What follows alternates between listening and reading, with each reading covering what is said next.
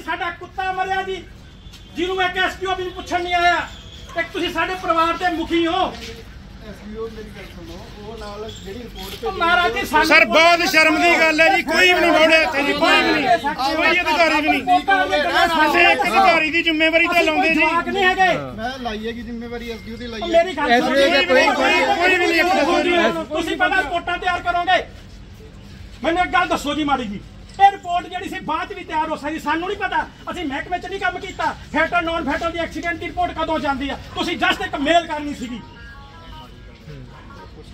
ਮਹਾਰਾਜ ਜੀ ਇੱਕ ਮੇਲ ਕਰਨੀ ਸੀ। ਸਾਨੂੰ ਕਿਉਂ ਬੇਵਕੂਫ ਬਣਾਈ ਜਾਂਦੇ ਹੁਣ? ਵੀ ਸਰ ਫੋਨ ਕੀਤਾ ਹਜੇ ਵੀ ਤਾਂ ਤੁਸੀਂ ਕਹਿੰਦੇ ਪੁੱਛਦੇ ਆ ਇੱਕ ਫੋਨ। ਤੁਸੀਂ ਮੈਨੂੰ ਇੱਕ ਹਜੇ ਵੀ ਤੁਸੀਂ। ਪੁੱਛਦੇ ਹੋਵੋਗੇ। ਇੱਕ- ਇੰਨੇ ਬੰਦਿਆਂ ਤੋਂ ਪ੍ਰੈਸ ਤੁਸੀਂ ਇੱਕ ਇੱਕ ਬਿਆਨ ਦਿੱਤਾ ਸੀ। ਜੇ ਅੱਧਾ ਘੰਟਾ ਸਪਲਾਈ ਨਾ ਚੱਲੀ ਤੁਸੀਂ ਸਸਪੈਂਡ ਹੁਣ ਸਾਡਾ ਬੰਦਾ ਮਰ ਗਿਆ। ਦੱਸੋ ਕਿਹਦੇ ਤੇ ਪਰਚਾ ਕਰੀਏ? ਤੁਹਾਡੇ ਚੇਅਰਮੈਨ ਤੇ ਤੁਹਾਡੇ ਐਸਡੀਓ ਤੇ ਜਾਂ ਤੁਹਾਡੇ ਤੇ? ਮੇਰਾ ਹੀਰੇ ਵਰਗਾ ਮੁੰਡਾ ਮਾਰਤਾ ਤੁਸੀਂ।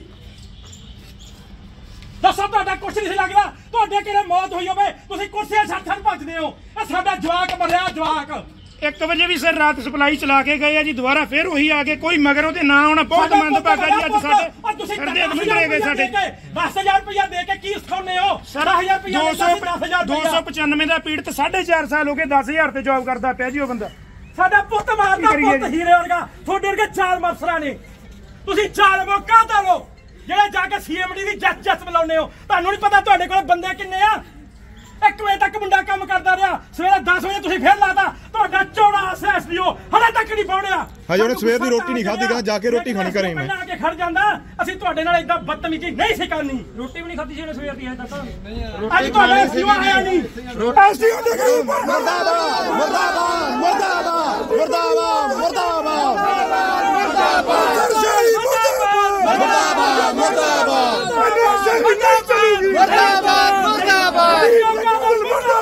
ਮਰਦਾਬਾਦ ਮਰਦਾਬਾਦ। ਸਵੇਰ ਦੇ ਇੱਥੇ ਖੜੇ ਕਿੱਥੇ ਸੀ ਤੁਸੀਂ? ਦੱਸੋ ਵੀ। ਸਵੇਰੇ ਜਦੋਂ ਆ ਜਾਓ ਜਾਓ। ਸਵੇਰ ਦੇ ਕੋਈ ਸਵੇਰ ਦੇ ਇੱਥੇ ਨਹੀਂ। ਗਏ ਤੁਸੀਂ ਕੋਈ ਨਹੀਂ ਆਏ ਇੱਥੇ ਕੋਈ ਵੀ ਨਹੀਂ ਆਏ। ਨਹੀਂ ਪਹੁੰਚੇ। ਕੋਈ ਸ਼ਕਲ ਨਹੀਂ ਦੇਖੀ ਨੇ। ਆ ਇੰਨੇ ਬੰਦੇ ਖੜੇ ਕਿੱਥੇ ਬੈਠੇ ਹੋ? ਤੂੰ ਆ। ਜਾ ਇੰਨੇ ਜਾ ਬੰਦੇ ਇੱਥੇ ਖੜੇ ਕੋਈ ਇੱਕ ਜਾ ਟਿੱਕੇ। ਇੱਕ ਨੂੰ ਕਿਹਨੂੰ ਮਿਲਿਆ। ਇਹ ਬੰਦਾ ਉਹਨੇ ਦੇਖਿਆ ਨਹੀਂ ਅਸੀਂ ਨੇ ਡੈਡ ਬੋਡੀ ਆਉਣ ਤੋਂ ਮੇਰਾ ਪਹਿਲਾਂ ਮੁੰਡਾ ਮਾਰਿਆ ਤੂੰ ਤੂੰ ਡੈਡ ਬੋਡੀ ਆਉਣ ਤੋਂ ਪਹਿਲਾਂ ਅਸੀਂ ਇੱਥੇ ਬੈਠੇ ਆ ਪਰ ਤੁਹਾਨੂੰ ਨਹੀਂ ਅਸੀਂ ਦੇਖਿਆ ਨਹੀਂ ਦੇਖਿਆ ਬਿਲਕੁਲ ਕਿਹੜੇ ਬੰਦੇ ਨੂੰ ਆ ਕੇ ਮਿਲੇ ਮੁੰਡਾ ਮਾਰਿਆ ਮੁੰਡਾ ਕਿਹੜੇ ਬੰਦੇ ਨੂੰ ਆ ਕੇ ਮਿਲੇ ਵੇਖੀ ਚੱਲੀ ਤੂੰ ਹਾਂ ਤੈਨੂੰ ਫੇਰ ਵੇਖਾਂਗੇ ਰਾਤ 2 ਵਜੇ ਤੱਕ ਕੰਮ ਤੇ ਗਏ ਮੁੰਡੇ ਉਹ ਤੜਕੇ ਫਿਰ 9000 ਤੱਕ ਕੰਮ ਕਰਦਾ ਸੀ। ਤੁਸੀਂ ਕਹਿੰਦੇ ਜੇ ਅੱਧੇ ਘੰਟੇ ਸਪਲਾਈ ਨਾ ਚੱਲੀ ਟੰਗ ਦੇਾਂਗੇ ਹੁਣ ਤੁਹਾਨੂੰ ਨਾ ਟੰਗੀਏ ਕਿਸੇ ਨੂੰ ਨਹੀਂ ਕੁਝ ਕਿਹਾ ਸੀ। ਓ ਜਾਓ ਬੈਠੋ ਜਾ ਬੈਠੇ ਬੈਠਾ ਰਹੋ ਰਹੋ। ਤੁਸੀਂ ਆਪ ਸੇਲ ਚ। ਓ ਜਾਓ ਬਹਿ ਜਾਓ ਟਿਕ। ਕੇ 11 ਵਜੇ 1 ਵਜੇ ਤੱਕ ਕੰਮ ਕਰਦਾ ਰਿਹਾ ਬੰਦਾ। ਸਵੇਰੇ ਤੁਸੀਂ 9 ਵਜੇ ਫਿਰ ਕੰਮ ਤੇ ਬੁਲਾ ਲਿਆ ਉਹਨੂੰ। ਰੋਟੀ ਵੀ ਨਹੀਂ ਖਾਣ ਦਿੱਤੀ। ਮੇਰਾ ਮੁੰਡਾ ਰੋਟੀ ਤੋਂ ਬਗੈਰ ਮਰਿਆ।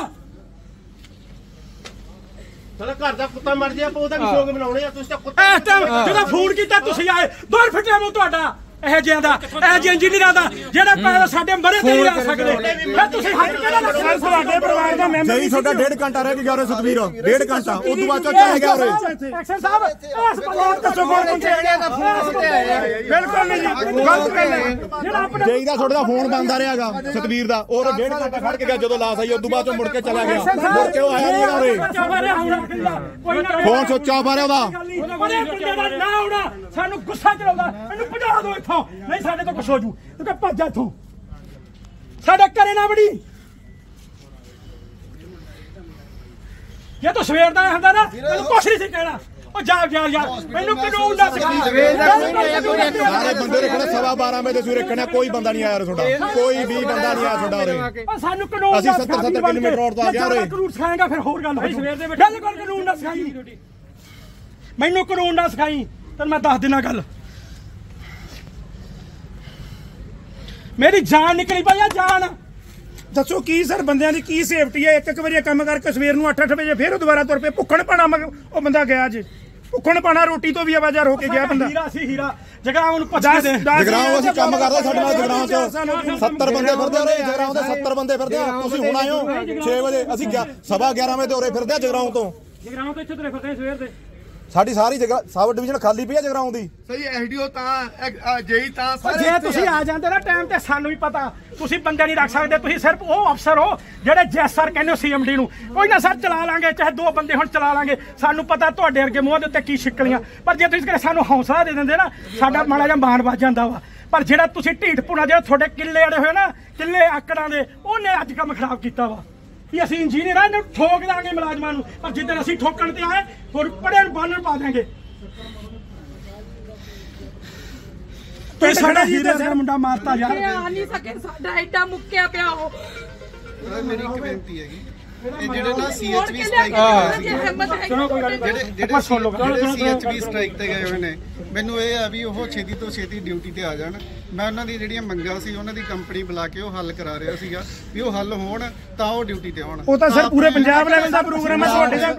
ਸੀਐਮਡੀ ਲੈਵਲ ਦਾ ਪ੍ਰੋਗਰਾਮ ਹੈ ਤੁਹਾਡੇ ਤੇ ਗੁੱਸਾ ਤਾਂ ਹੋਇਆ ਤੁਹਾਡਾ ਫਰਜ਼ ਬਣਦਾ ਸੀ ਇਹ ਤੋਂ ਆਊਟਪੁੱਟ ਲੈਂਦੇ। ਜੇ ਆਊਟਪੁੱਟ ਦਿੱਤੀ ਹੁੰਦੀ ਅਸੀਂ ਤੁਹਾਡੇ ਨਾਲ ਗੁੱਸੇ ਨਹੀਂ ਸੀ ਹੋਣਾ। ਸਾਡਾ ਤੁਹਾਡੇ ਨਾਲ ਕੋਈ ਗੁੱਸਾ ਨਹੀਂ ਸੀ।